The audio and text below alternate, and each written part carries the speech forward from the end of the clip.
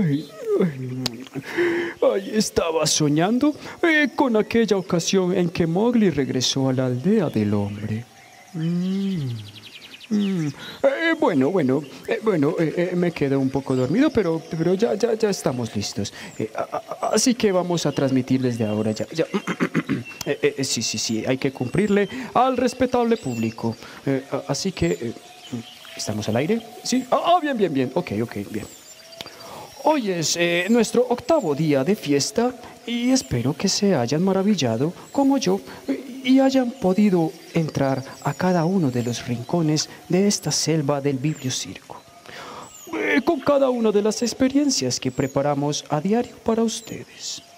Recuerden que algunos de estos contenidos eh, quedarán alojados en la plataforma y otros, como las presentaciones artísticas, solo estarán 24 horas disponibles. ¿ah?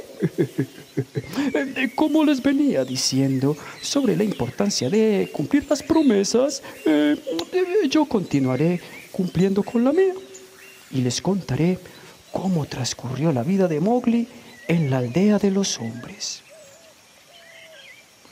Fue triste, pero tenía que ocurrir para que pudiera regresar aquí a la selva sabiendo quién es.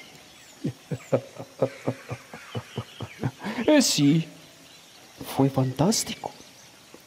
En la selva, la rana creía que era un debilucho, pero en la aldea le hicieron ver que tenía la fuerza de un toro. También se encontró con techos, puertas, telas y elementos que nunca había visto y que le parecían inútiles. También se encontró eh, con clases sociales, algo que ni entendía ni le importaba, pues tenía claro que todos en la selva somos bye bye hermano, hermana. Y pensó que lo que le hacía falta al pueblo del hombre era que yo, Balú, les enseñara la ley de la selva, así como había hecho con él. Ay, se imaginan, ay, qué disparate. Ay, pero lo más importante, allí Mowgli conoció las palabras. Y ustedes ya saben, son las palabras las que nos muestra quiénes somos en realidad. ¿Y qué piensan ustedes? Eh, eh, vayan pensando en sus hogares y en sus manadas o, como lobos solitarios. eh, y si quieren me pueden escribir. Por lo pronto les contaré las maravillas preparadas para el día de hoy. Desde las 9 de la mañana comienza nuestra franja de la selva a tu casa. En la voz de uno de nuestros promotores de lectura leeremos Lobos Literarios. Y como esto hermoso animal sigue presente en la literatura. A las 10 de la mañana podrán disfrutar de la obra Dalioso, que nos traen desde la sucursal del cielo, desde la Sultana del Valle, Oís, desde Cali. El circo Herencias se presenta en nuestra franja. Damas y caballeros, tigres y ranas. Desde las 2 de la tarde, la franja Mi barrio, mi casa, mi manada. Nuestro taller de lectura nos invita a descubrir entre lobos y amigos el valor de la confianza. En la voz de promotora de cultura del Centro Cultural de Desarrollo y Cultura Moravia. Y desde las 3 de la tarde escucharemos sobre los asentamientos, dispersión de comunidades judías en Medellín, a cargo de uno de nuestros invitados, Reinaldo Espitelate. Así que, en otras voces. ¿eh?